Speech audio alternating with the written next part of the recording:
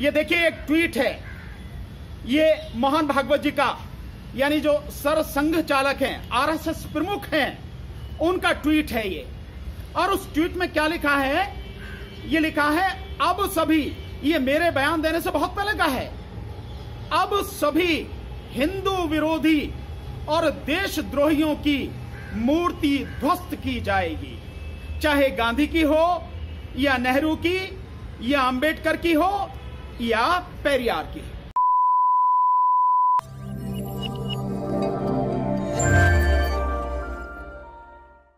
आए हुए सभी मेरे मीडिया बंधुओं को बहुत बहुत स्वागत।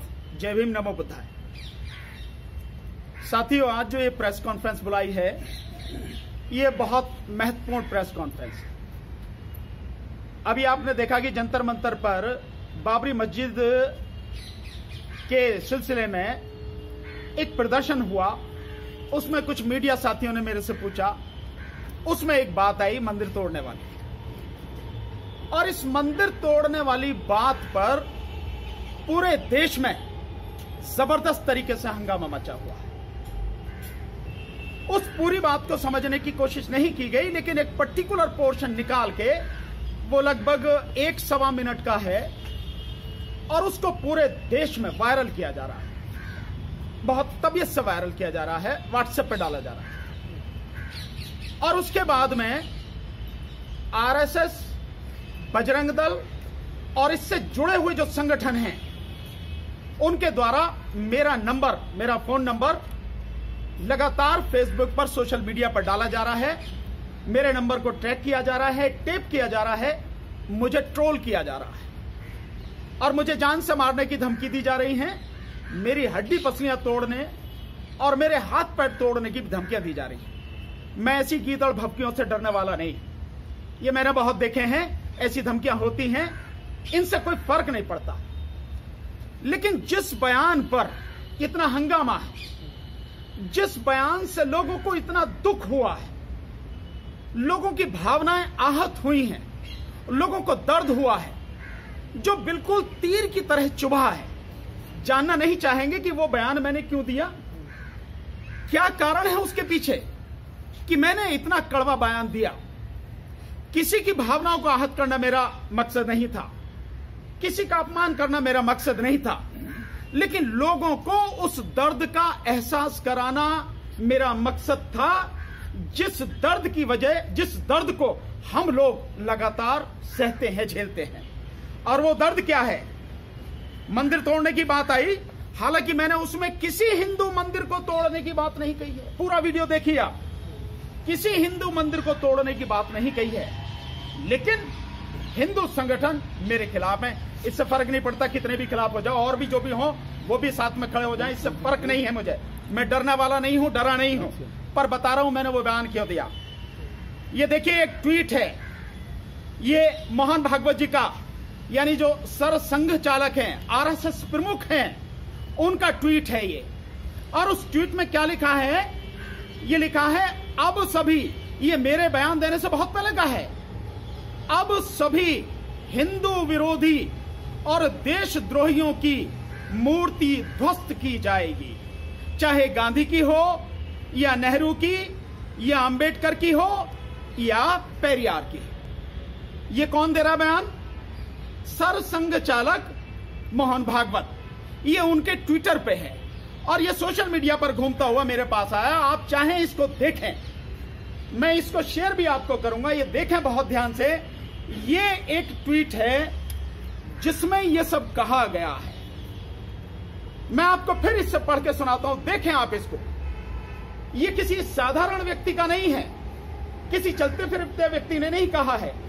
इस देश के, आज के सबसे ताकतवर व्यक्ति ने क्या है? आरएसएस प्रमुख ने कहा है, ये उनका ट्वीट है। उनके ट्विटर हैंडल से ये बात कही गई है। और क्या है? अब सभी हिंदू विरोधी और देशद्रोहियों की मूर्ति ध्वस्त की जाएगी। चाहे गांधी की हो, या नेहरू की हो, या अंबेडकर की हो, या पेरियार की। भाई, गांधी और नेहरू हिंदू विरोधी कब से हुए भाई? चलो मैं मान लेता हूँ कि बाबा साहब, डॉक्टर अंबेडकर, पेरियार साहब कह सकते हैं आप हिंदू विरोधी, वो हिंदू विरोधी वो भी नहीं थे। वो पाखंड विरोधी थे।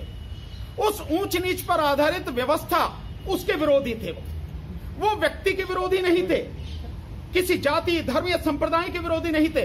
उस विचारधारा के, जिस विचारधारा में ऊंच नीच का भेदभाव था, छुआछूती उस विचारधारा के विरोधी थे। परम पूज्य बोधिसत्व बाबा साहब डॉक्टर अंबेडकर और ईवी रामास्वामी नायकर पेरिया लेकिन आप यहाँ तो क्या करें? उन्हें हिंदू विरोधी ही नहीं, आप नेहरू को देशद्रोही कह रहे हो। आप गांधी जी को देशद्रोही कह रहे हो।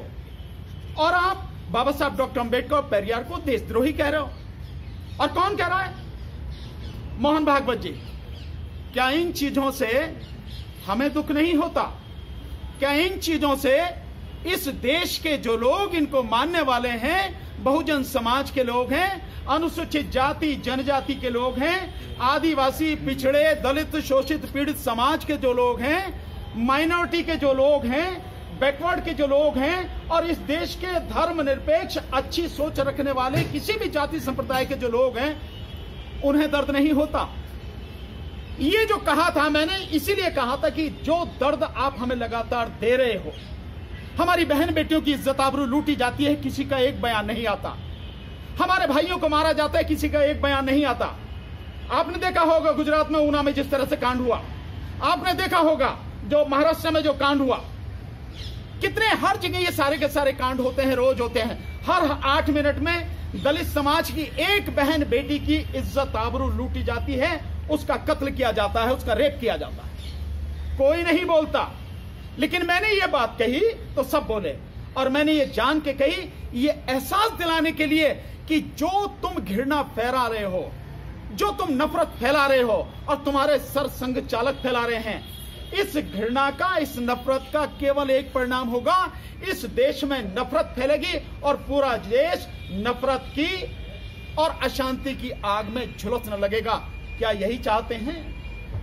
और केवल यही नहीं, इसके बाद में आपने देखा रामदेव ने जिस तरह का बयान दिया, रामदेव ने कहा, जो एक वैचारिक क्रांति थी, परम पूज्य बोधिसत्व बाबा साहब डॉक्टर अंबेडकर, पेरियार साहू जी महाराज राष्ट्रपिता महात्मा ज्योतिबा फुले, संत कबीर, उन सब की जो थी, वो जो उनकी विचारधारा थी, क्रांतिकारी विचारधारा, जिसने इस देश के पाखंड को चुनौती दी, पाखंड को दूर कर दिया, अंधविश्वास को दूर करने का प्रयास किया, उसको वैचारिक क्रांति वैचारिक आतंकवाद कह रहे रामदेव, वैचारिक आतंकवाद। और वो बयान कहीं ऐसी जगह नहीं दिया गया। वो एक बहुत बड़ी सभा थी, बड़े प्रबुद्ध लोग बैठे थे, आप उस वीडियो को देखिए, उसमें समझ में आता है। और किसी भी उस सभा के प्रबुद्ध व्यक्ति ने उसका कोई विरोध नहीं किया। उसके बाद भी किसी ने उसका विरोध नहीं किया। और यही नहीं, उसके बाद एक जिस समय योगा कराते रामदेव, उस योगा की क्लास में सुबह सुबह रामदेव ने कहा कि, पेरियार अगर मेरे समय में होता तो उस जूते इतने जूते पड़ते, इतने जूते पड़ते कि मर जाता। आप हमारे महापुरुषों का अपमान करेंगे और हम शांत बैठे रहेंगे। और ये कौन कह रहा है? ये प्रमुख लोग हैं, वो कह रहे हैं। आप नफरत फैलाओगे तो नफरत ही मिलेगी। इसलिए मैंने आज तक जीवन में किसी को अपशब्द नहीं कहे। मुझे मजबूरी में ये सारी की सारी बातें कहनी पड़ी और सिर्फ़ इस बात के लिए इस देश की जनता को, इस देश के धर्मनिरपेक्ष और अच्छे लोगों को ये एहसास कराना कि साथियों, नफरत से देश नहीं चलेगा, प्यार से देश चलेगा, सामंजस्य, समन्वय से देश चलेगा। हम एक दूसरे के सहयोगी बने, एक दूसरे के साथी बने, उससे देश चलेगा। नफरत फैलाने से कुछ नहीं होगा। और मुझे मारने की धमकी दिया है। आप धमकियाँ चाहे जितनी दो मैं इसके ऊपर कानूनी कार्रवाई भी कर सकता हूँ, सारी चीज़ें जानता हूँ, लेकिन अभी की नहीं है। क्योंकि मैं एहसास कराना चाहता हूँ कि तुम जो कर रहे हो, वो गलत है। इस देश को जोड़ो, इस देश को तोड़ने की कोशिश मत करो। और तुमने जितनी मेहनत करके मेरा वो वीडियो चलाया, मैं तुम्हें चैलेंज कहता हूँ, ये वीडियो भी चलाओ। दिखाओ लोगों को, सच्चाई दिखाओ लोगों को कि सच्चाई ये है। ये दर्द तुम्हें ही होता है, हमें नहीं होता। किस चीज़ की ज़रूरत है इस देश में? और कौन कह रहे हैं, मोहन भागवत? कौन है मोहन भागवत? सरसंघ चालक क्या है? मोहन भागवत को 190 कमांडो मिले हुए हैं सुरक्षा के लिए। भाई, तुम्हें क्या ज़रूरत है? उन्हें बीएमडब्ल्यू गाड़ी मिली हुई है ब्लड प्रूफ उन्हें जेड प्लस सिक्योरिटी मिली हुई है। मोहन भागवत, इस देश के सबसे ताकतवर व्यक्ति, जो कहते हैं कि तीन दिन में हम सेना तैयार कर देंगे पाकिस्तान के खिलाफ। तुम्हें सिक्योरिटी की ज़रूरत है भाई। वो किसका पैसा है भाई? वो देश का पैसा है ना? देश की जनता का, आपका, हमारा, हर व्यक्ति का टैक्स पेयर का पैसा है, जिससे उन्हें इतनी बड़ी सुरक्षा दी जा रही है। किस बात के लिए दी जा रही है? केवल नफरत फैलाने के लिए आप नफरत फैलाएँ। मैं वकालत करता हूँ, दिल्ली में वकालत करता हूँ। इस दिल्ली में जब से मैं वकालत करता हूँ, मेरे वकील, साथी, किसी भी धर्म, जाति, संप्रदाय के हों, किसी भी तरह के लोग हों, मेरा इतना सम्मान, मुझे इतना प्यार दिया है कि मैं आपको बता नहीं सकता। और मेरे इस बयान से वो भी आहत है, पर मैंने जानबूझ के कहा। उन्हें भी पता लगनी चाहिए कि घृणा फैलाई जा रही है। इस घृणा को रोकना तुम्हारा भी काम मैंने आज तक किसी को कुछ नहीं कहा, फिर आज क्यों कहूँगा? लेकिन कहना पड़ा, क्योंकि क्या समझ रहे हैं? हमने हाथ में चूड़ियाँ पहन रखी हम बिल्कुल ऐसे ही। जो तुम कहोगे, हम बर्दाश्त करते रहेंगे। बहुजन समाज किसी हालत में भी ये चीज़ें बर्दाश्त करने को तैयार नहीं। जहाँ तक मारने की बात है, मार दो मुझे मुझे कोई फ़र्क नहीं पड़ता। मेरे मरने से अगर ये दलित समाज, ये बहुजन समाज, ये पिछड़ा समाज, ये आदिवासी समाज अगर मेरी मौत के बाद खड़ा हो जाता है, आवाज़ बुलंद करने लगता है, अपना संघर्ष करना शुरू करता है तो मेरे लिए इससे बढ़िया मौत कौन सी होगी? मेरा तो जीवन सफल हो गया। वैसे भी मेरे मेरे शरीर का, मेरे शरीर की एक एक बूंद, मेरे शरीर का एक एक कतरा मेरे बहुजन समाज के लिए है, दलित शोषित पीड़ित समाज के लिए, आदिवासी समाज के लिए है, इस देश के लिए है, इस देश के जो अच्छे लोग हैं उनके लिए मेरा जीवन है। मुझे कोई फ़र्क नहीं पड़ता। लेकिन गलत बात न बर्दाश्त की है, न बर्दाश्त करेंगे और मुँह तोड़ जवाब देंगे इस बात का। चाहे कोई भी हो, वो सरसंघ चालक हो, रामदेव हो, इस देश का प्रधानमंत्री हो, कोई भी हो, अगर इस तरह की बात की जाएँगी, जवाब मिलेगा, मुँह तोड़ जवाब मिलेगा। हम सोए हुए नहीं हैं। हम किसी से भीख नहीं मांग रहे भिकारी नहीं है हम। खुद मेहनत करते हैं तो कमा के खाते हैं। पूरा बहुजन समाज मेहनत करता, कमा के खाता। तुम क्या कर रहे हो? लूट रहे हो? कभी इस बात पे आवाज़ नहीं उठाई? मैंने सिर्फ़ बात कही तो।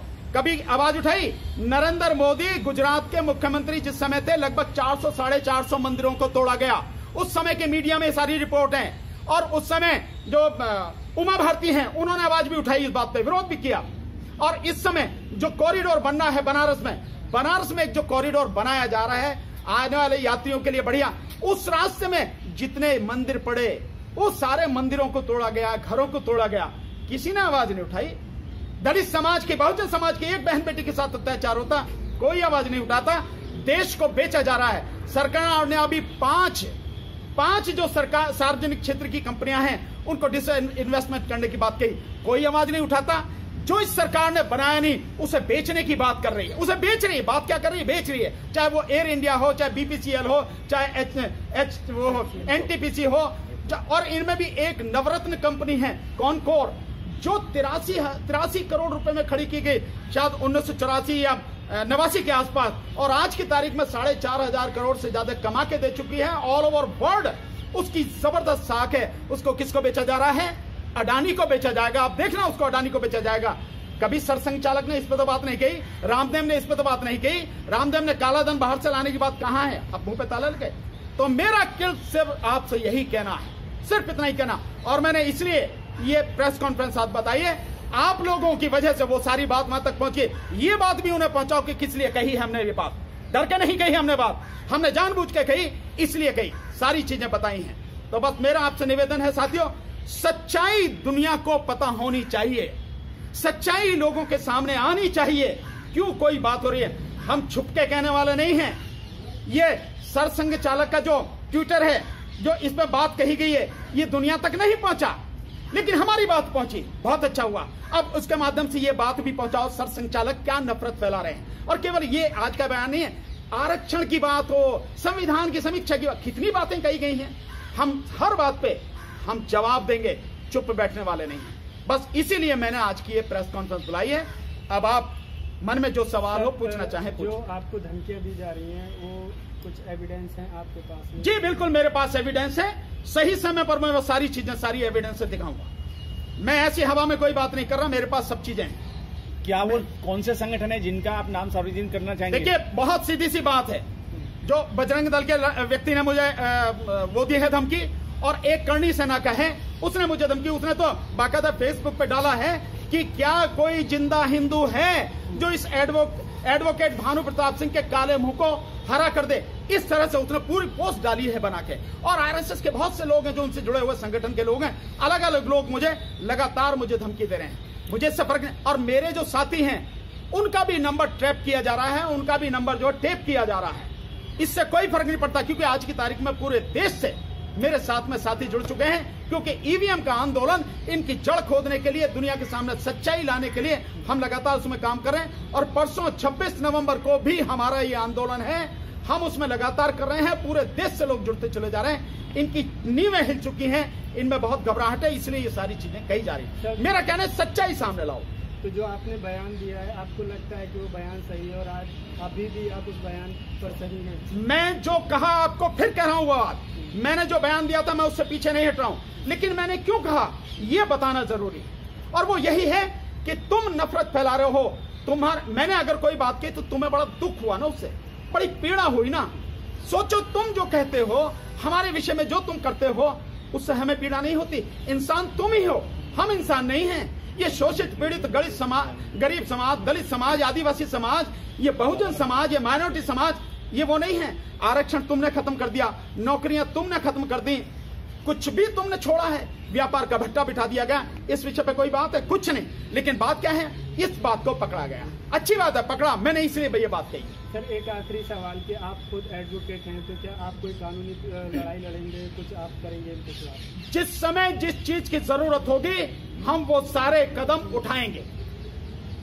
जिस समय भी ज़रूरत होगी। अब ज़रूरत के हिसाब से उसके कदम करेंगे। आप आपके कोई सवाल है? ठीक आपका? ठीक है ठीक है। बहुत बहुत शुक्रिया आप सभी का। धन्यवाद। आप सबसे अनुरोध है कि वॉइस एटी फाइव इंडिया को सब्सक्राइब करें वीडियोस को लाइक करें शेयर करें और कमेंट के ज़रिए अपने राय दें। साथ ही में बेल आइकन को दबाना ना भूलें ताकि हमारे नए वीडियोस की जानकारी आप तक सीधे पहुँचती रहे।